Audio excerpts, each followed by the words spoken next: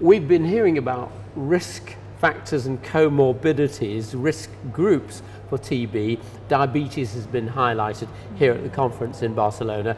But what other risk groups do you think are the most important ones? Diabetes has definitely been getting a lot of attention, and I think it's great. I think it's definitely important. Uh, as you mentioned, though, there are other diseases um, and, and risk, risk behaviors, if you will, that will place a person at, uh, for increased risk for, for TB. Uh, at the top of the list is smoking. Smoking, of course, uh, does a lot of bad things to you, one of which is to increase the risk for development of TB and for being infected with TB. Uh, regular alcohol use and alcohol abuse has also been associated with increased risk for TB, and as well undernutrition and malnutrition. None of which have, um, I guess they haven't been emphasized quite as much during the conference, um, but they, they certainly should be ignored.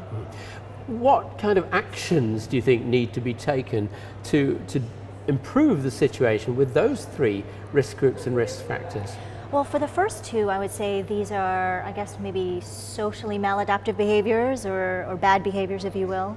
So changing those types of behaviors, of course, uh, is a very complicated thing. You need to be counseling on smoking cessation or talking to people about uh, decreasing their alcohol um, intake. And in addition to that, actually changing health, changing laws uh, for smoke-free environments and things of that nature. Um, so I think that the, the, the strategy actually needs to be multivariable and multifactorial. And the strategy for nutrition, what should that be? That also, I think, is a is a very complicated one to to uh, to address. Partly because there are so many things that actually do contribute to under undernutrition and malnutrition. One of the key things, of course, is just food shortage in and of itself. Something that we know has been linked to stunting of growth in children or um, delayed development in children. Um, but in addition to that, another another variable that hasn't been discussed as much, nor has it been published, um, as much is a potential link between uh, poor sanitation and poor quality of water uh, with TB with malnutrition being that link that ties the two.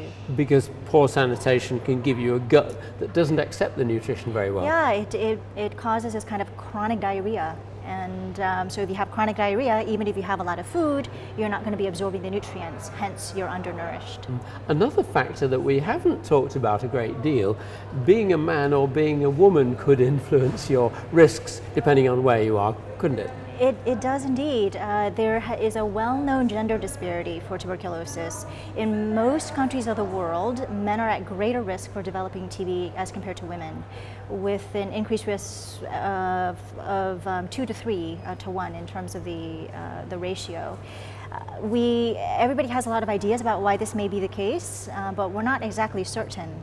However, one of, the, one of the associations that does make sense is that in many countries, men do smoke and drink more than women do. So it's possible that these, um, that smoking and drinking, in terms of its uh, risk for TB, could be disproportionately affecting the male population. Mm. Is there a take-home message from all of these risk groups that you would like people to remember? I guess uh, the take home would be um, in the same way that we're thinking about diabetes and TB and in combining the two in a bidirectional framework, maybe down the road we, we might think about doing that for these other diseases as well. Um, it may be more complex, actually, just because we're talking about social behaviors, but I think it's definitely worth thinking about. Knut Lonnroth was just saying that social protection actually is, is, an important thing. Now, he was saying that that means thinking outside the box. What did you make of those thoughts when caring for TB, going beyond just looking at the disease, how best to treat it?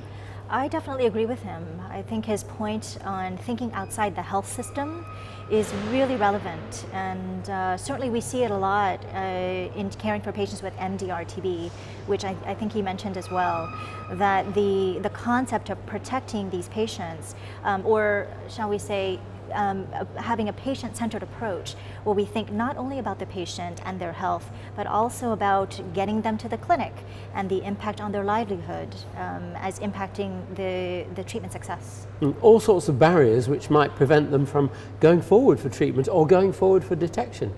Yeah, absolutely. And, and, and there may be things that doctors and, and nurses may not think of at the forefront of their minds, but um, there, there are many, many hurdles actually that a patient does need to cross in order to uh, take their medicines on a daily basis, especially for MDR.